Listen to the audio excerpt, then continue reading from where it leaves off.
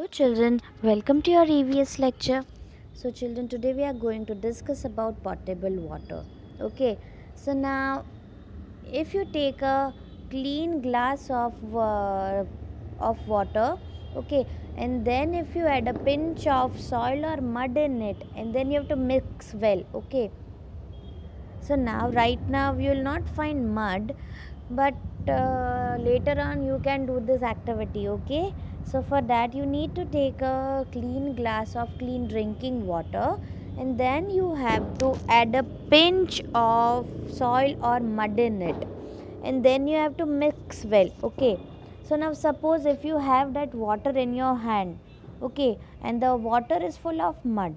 So now uh, can you drink that water? No no we cannot drink that water. Why because that water is dirty. Yes because there is soil in it there is mud in it and we cannot drink dirty water. So now what kind of water should we drink? So we should always drink uh, clean water right? So that is potable water. Okay. So potable what is potable water? So the potable water so the water that is uh, free from germs and chemicals is potable water okay? So the water which is uh, which is free from germs and chemicals is potable water. Now now can you tell me how can we clean our drinking water? So the water which we drink should be clean right?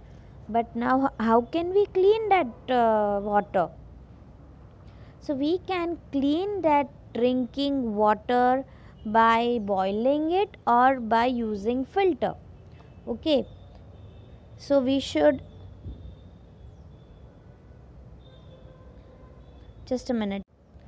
So we should always clean so so we should always drink clean water and that is potable water okay and potable water is the water that is free from germs and chemicals.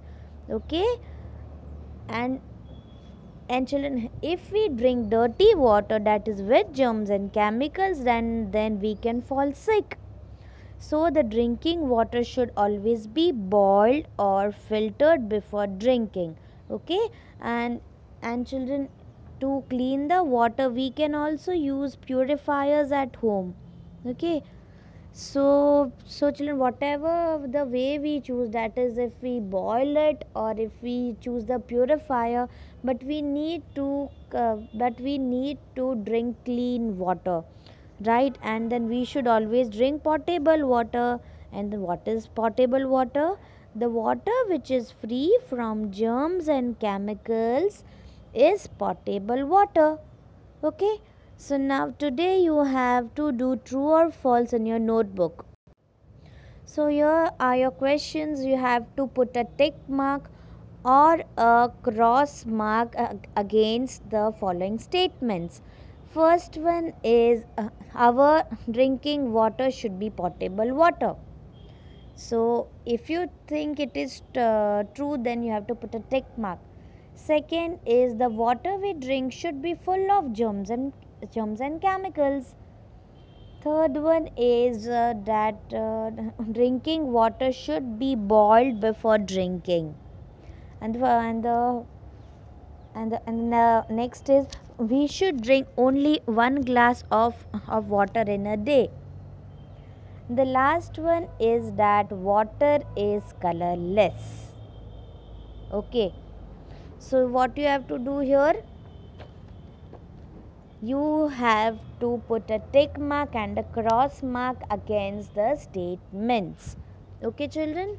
So, today we have discussed potable water and tomorrow we will discuss ways to save water. Okay. Okay, children? So, that's all for today's EVS lecture. So, thank you and, and have a and have a very good day.